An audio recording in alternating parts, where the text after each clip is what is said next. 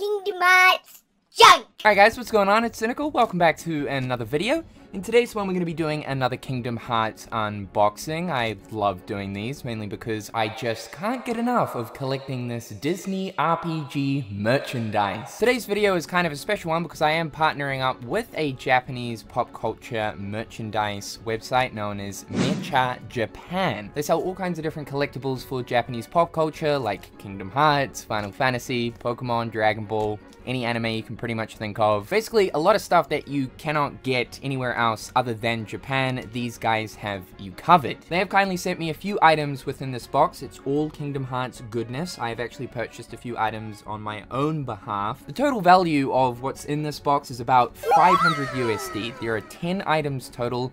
Yeah, Kingdom Hearts merch isn't cheap. It's even worse too when you think 500 USD is like the equivalent of 700 odd New Zealand dollars too, so like Yikes. However, if it means I get more Kingdom Hearts plushes or Kingdom Hearts plastic, I'm a happy boy. Meccha have kindly provided me with a small discount code that you guys can use, JOINT5, when checking out on their website.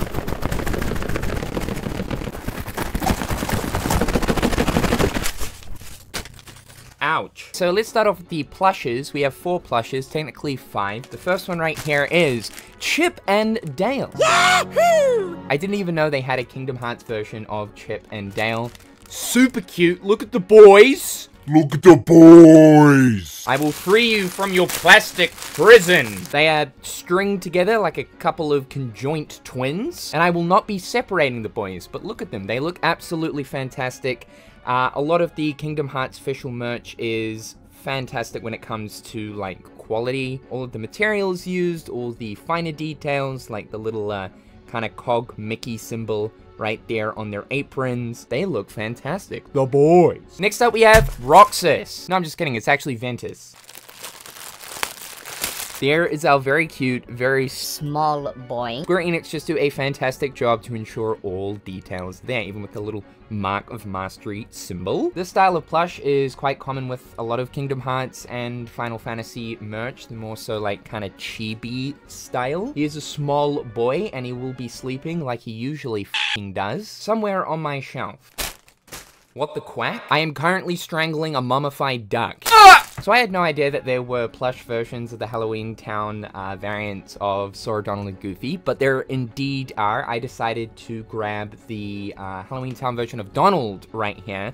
I think it looks fantastic. Generally, for Donald's middle portion right here, his actual character model doesn't have, like, literally anything. He's, he's just kind of, like, floating. There's nothing there. So we filled that in with black. It actually looks kind of cool. He's also got the cloth strap over his beak to hopefully shut him up a little bit to ensure that he's not screaming about ingredients all the time. This might be a good spot to find some ingredients.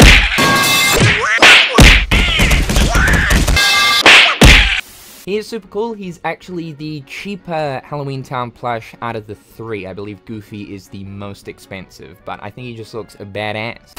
Oh, Your Majesty. Ah! Okay, so this is insane. So along with Chip and Dale and Ventus back there, this Mickey was uh, sent to me by Meccha. This is one of the coolest plush figures I think I have ever seen. T-posing Mickey.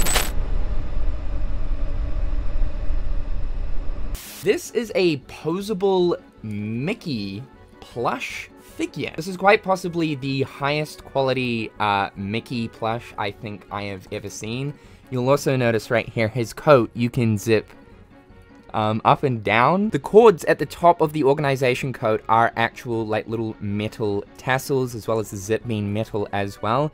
This is kind of insane. Look, fully posable uh, plastic bits for his shoes and the hood as well. I'm pretty sure we can put this on. There we go, drug dealer Mickey. This is definitely a lot cooler than my other organization Mickey plush that I have right here. This is a little bit lower quality. It is still official Kingdom Hearts merch. But you'll notice that like all of the different details, like the zip, the zipper, uh, the cord. This is just all like printed fabric that's been kind of glued or attached on. This Mickey is actually from an Ichiban Kuji, a Japanese lottery type system.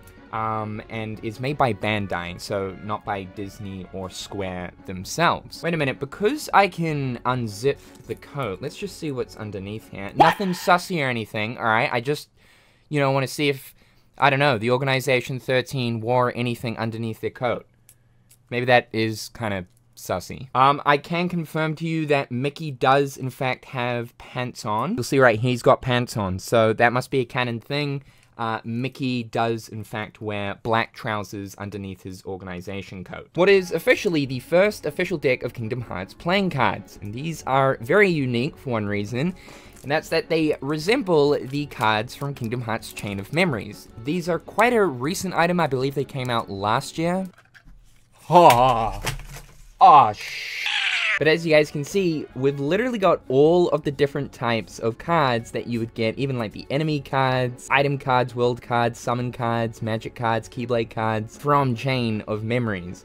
And these can be used like normal playing cards, you've got the number, you've got the suit. I think this is honestly one of the coolest pieces of Kingdom Hearts merch, just because it literally makes so much sense. And the fact that they nailed the shape, they nailed the back design. Look at the King card, it is a key to beginnings card. That is absolutely awesome. One thing you should know about these though is they're not actually a card material, they're plastic. So that would mean the durability is a little bit better for actually wanting to use them, but I'm, I'm still not going to do that because I'm a nerd and I like to keep my shit nice and safe shiny. So this was an item that Cass recommended me to get. It is a Kingdom Hearts scratchbook. If you don't know what scratch art is, it's basically just this like black bit of card that you scratch away at and it will eventually reveal a picture. These are the different uh, scratch arts that are available in this pack. Again, this is an official piece of Kingdom Hearts merchandise and I just thought it looked really cool. So it's something that me and my girlfriend can do in our spare time. Oh, how sweet. Ah, oh, your majesty. So today I have officially broken my Nendroid virginity. Yeah, I actually don't own a Nendroid at all, mainly because these are very expensive, and if you kind of sit on them for a while and then eventually decide to buy one, uh, the prices of these are insane. This one right here was about $180. Looking at the Riku one, that's in the sort of $200 range, and then looking at the Sora one, that's like about $400. Nendroids go crazy when it comes to the price. There's kind of a good reason for that. These are incredibly high quality, more so than something like a Funko Pop. You've also got like different bits and pieces that you can uh, sort of assemble onto the Nendroid as well, different like heads, and they're fully posable which is cool. Decided to get the King Mickey one for one. It is the cheaper one, but it's also Kingdom Hearts 2 King Mickey, which is the best version of Mickey. Am I opening it? Hell no. What do you take me for, a fool? So right here we've got a Keyblade. Very small Keyblade though. It's more of a key dagger. Oh, it's cute. Damn. Attachable keychain. Nice! This is also another newish piece of merchandise. The cool thing about this though is it is actually a light. There's a little button uh, just in the hilt. You slot the batteries in the bum of the Keyblade, just like that. Bada bing, bada boom. Hey, can I see some ID? You haven't been smoking that devil's lettuce, have you? What's that small bag down there, huh? Don't get lippy with me, punk. My name is Sergeant Keybird. I'm a big fan of keys. Hence the, uh, the key flashlight. As you guys can see, the light is in the shape of a keyhole, because of course it is. There's also another size that this Keyblade comes in, it's like a proper life-size version, I believe. Does the same thing, it's also a light. Oh, but they also do King Mickey's. Keyblade! And there we go, Kingdom Key D Small Edition. So for the final item, and perhaps the most valuable, though the Nendroid is honestly pretty close, is Paper Square. No, I'm kidding. Uh, it is... Uh, what could this be? So this is a very special 20th anniversary item. Obviously came out back in 2022. Uh, this is the 20th anniversary vinyl LP box. It contains three vinyls containing various music from Kingdom Hearts 1, 2, and 3. It even includes the music track from the Kingdom Hearts 4 trailer. Now, I'm not really too big on vinyls. I don't even have a record player, so I think now I need to change that. The only other vinyl that I own is Utada Hikaru's Face My Fears with the gorgeous Tetsuya Artwork. Absolutely sexy. But I just thought because the music of Kingdom Hearts is such a special part of the series, this would be a really cool collector's item to have. Oh, it's so nice and glossy. Look at that. Oh, take that off. Oh my god. Okay, so first up is Kingdom Hearts 1. Look at that, dude. Here are the tracks that are included. The actual vinyl itself, you can see the Roman numeral 1. Kingdom Hearts 2 with the lovely cover art. Here are the tracks. Same thing again, Roman numeral 2 and Kingdom Hearts 3. And here are the tracks. Reality in the Dark is the Kingdom Hearts 4 song. The other cool thing about this though is it comes with the 20th anniversary Art's the most recent major Tetsuya Nomura piece, even showing us Kingdom Hearts 4 Sora right there. Uh, it also comes with a stand so that you can display it. And on the lid of the box, we even have a message from Yoko Shimomura.